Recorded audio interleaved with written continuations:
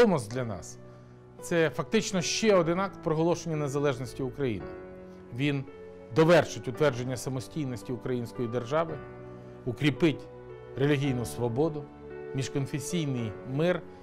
І він посилить права і свободи громадян, особливо тих, котрі перебували поза спілкуванням із Вселенським православ'ям, яких несправедливо таврували неканонічністю. Його всесвятість цими днями особливо наголошує на важливості відновлення спілкування мільйонів і мільйонів українських вірних з повнотою світового православ'я.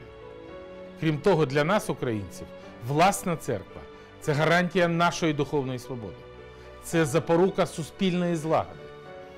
І я, як президент, гарантую від імені держави, що Україна поважатиме релігійний вибір і свободу віросповідання кожного громадянина. Я вітаю всіх небайдужих з постанням автокефальної православної церкви України. І я дякую кожному, хто невтомно працював над її становленням, творив єдність і відновлював справедливість. Свята Софія, премудрість Божа була з нами. І ми виконали свій обов'язок перед минулими і наступними поколіннями.